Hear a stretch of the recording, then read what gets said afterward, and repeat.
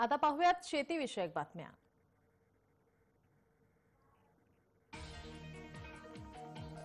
कर्नाटक हरियाणा पंजाब मध्य प्रदेश आणि तामिळनाडू सरकार येत्या दोन ते तीन महिन्यात फवारणीसाठी किसान ड्रोनच्या वापराची शक्यता आजमावत असून त्यासाठी संबंधित राज्यात ड्रोन उत्पादक कंपन्या शेतकरी उत्पादक संघटना आणि कृषी विद्यापीठांसोबत कामही सुरू करण्यात आले. येत्या दोन ते तीन महिन्यात शेतकऱ्यांना कि- किसान ड्रोनच्या माध्यमातून फवारणी करता यावी यासाठी या पाच राज्यातील सरकार प्रयत्नशील असल्याचं सांगण्यात येत आहे किसान ड्रोन खरेदीसाठी केंद्र सरकारकडून शंभर टक्के अनुदान देण्यात येणार आहे.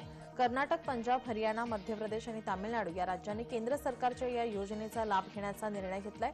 येत्या दोन ते तीन महिन्यातच कृषी विद्यापीठे आणि शेतकरी उत्पादक संघटनांच्या मदतीनं राज्यातील फवारणीसाठी ड्रोनचा वापर करण्याची तयारीही राज्यांनी केली आहे.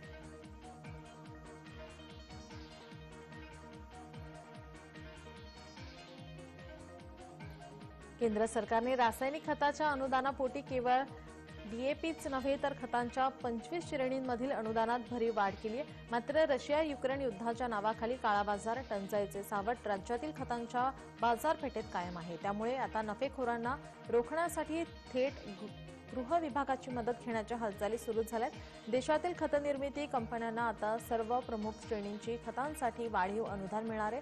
सर्वाधिक अनुदान अठ्ठावीस अठ्ठावीस शून्य शून्य या संयुक्त खतांच्या श्रेणीला मिळणार असून ते प्रतिगुणी एक हजार चारशे आठ रुपयांपर्यंत राहील. केंद्र शासनाने सुधारित अनुदान धोरणात केवळ डीएपीचेच अनुदान वाढवले नसून सर्वच महत्त्वाच्या श्रेणींना अनुदान वाढीचा लाभ दिला आहे.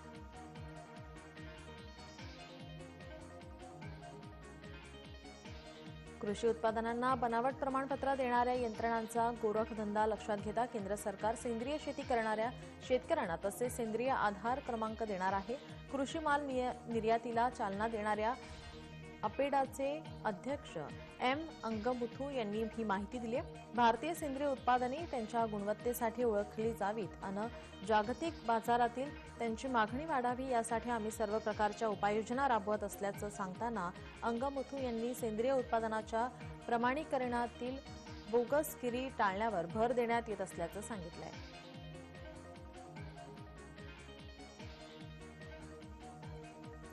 केंद्र सरकार सतत देशभरातील शेतकऱ्यांकडे नैसर्गिक शेतीचा आग्रह धरत आहे.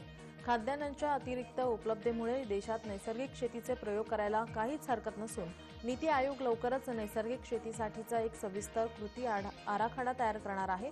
नैसर्गिक शेतीमुळे धान्य उत्पादनात घट होईल अशी शंका व्यक्त करण्यात येत आहे. गेल्या काही वर्षात जिथे रासायनिक खतांचा वापर फारसा झालेला नाही अशा सहा टक्के शेतजमिनींवर नैसर्गिक शेती करण्याचा केंद्र सरकारचा मानस आहे.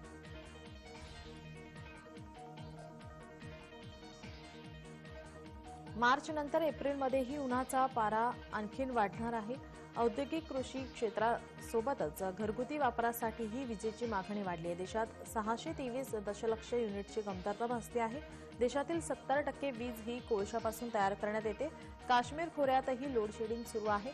एक हजार सहाशे मेगावॅट विजेची गरज असताना प्रत्यक्षात नऊशे ते अकराशे मेगावॅट वीज पुरवल्या जात आहे तामिळनाडूत सातशे पन्नास मेगावॅट विजेची कमतरता भासत आहे ज्याचा फटका औद्योगिक क्षेत्राला बसतो आहे.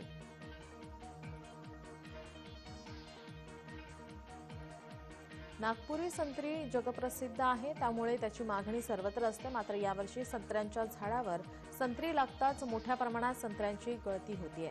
यामुळे संत्री उत्पादक शेतकरी चिंतेत आलेत. मात्र ही गळ जास्त उष्णतेमुळे होत आहे की नेमकं कशामुळे? या मागचे कारण अद्याप अस्पष्ट आहे. ही गळती नेमकी कशामुळे होत आहे याचा अभ्यास करून कृषी विभागाने शेतकऱ्यांना माहिती द्यावी अशी मागणी शेतकरी करतायत.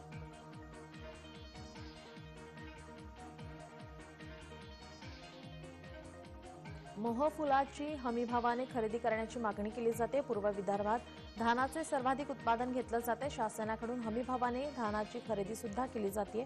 शेतकऱ्यांना त्याची मदत होते. तर याच भागात उन्हाळ्याच्या दिवसात एक ते सव्वा लाख मेट्रिक टन मोहफुलाचे संकलन केले जाते.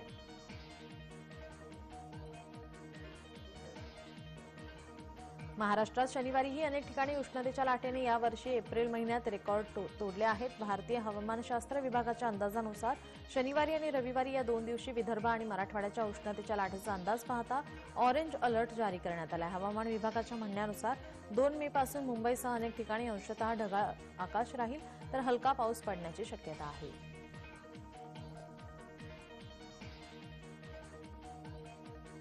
उन्हाळा म्हटलं की सर्वत्र थंड पेयाची दुकाने लागतात. उन्हा उन्हाची तीव्रता कमी करण्यासाठी शीतपेय आणि इतरांकडून सध्या मोठ्या प्रमाणावर लिंबाची मागणी वाढल्याने आरवी बाजारात लिंबाचा भाव प्रति किलो तीनशे रुपयांवर पोहोचला असून किरकोळ भाजी विक्रेते दहा रुपयांचे एक लिंबू या भावाने विकत आहेत